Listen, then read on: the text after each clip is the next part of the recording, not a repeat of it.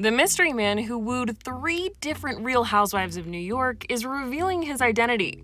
On the reality show's most recent episode, Luann de Lesseps showed off a picture of a new guy in her life, but he wasn't totally unfamiliar to her co stars. He won American Idol. He's so cute. Show Ramona this one. No, but show the other one when we're on stage. That's where he's from. It turns out Ramona had a history with the unnamed singer, and she wasn't the only one. Oh, we, we share a lot of people, don't we? Uh, oh, did you have a story with him too? I went out with him. So did Tinsley. So did Tinsley. So, who romanced Luann, Ramona, and Tinsley? It turns out to be none other than Broadway star Constantine Maroulis.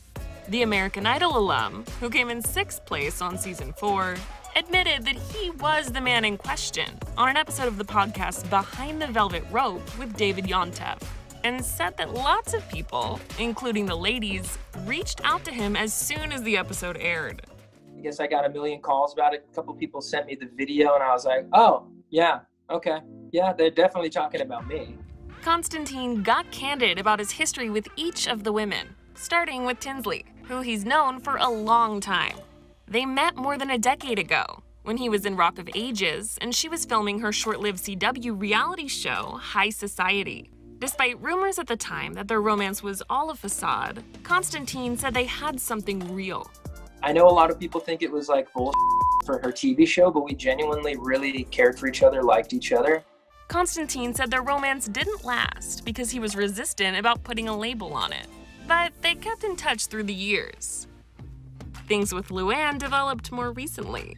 The performer has taken part in some of her cabaret shows and admitted they had, quote, a lot of chemistry. While he insisted that they were platonic, he admitted things did get a little physical. We were just friends, you know, we enjoyed each other's company, you know. Um, we would, you know, if we were lucky to hang out, you know, here and there, we, we would, uh, we would, we'd always have a good time together.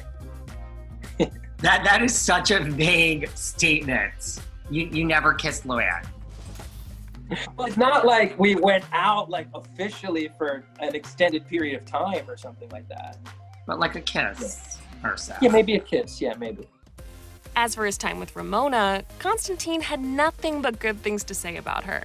You know, we've had some drinks together, and uh, um, she's got a great body, and she's got a great personality. He continued, She's got a great apartment, even though I think she's got her new place now. She's, I think, awesome.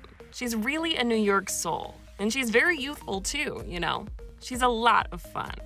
While Constantine wasn't shy about spilling details about his past connections to Tinsley, Luann, and Ramona, there was one thing he wasn't going to kiss and tell on.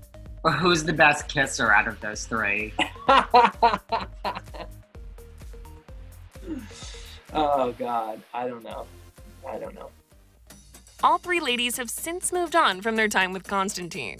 Tinsley is engaged to Scott Kluth and left the Real Housewives of New York to live with him in Chicago. And Luann has had a romance of her own throughout season 12, which she talked to Access Hollywood about ahead of the premiere back in April.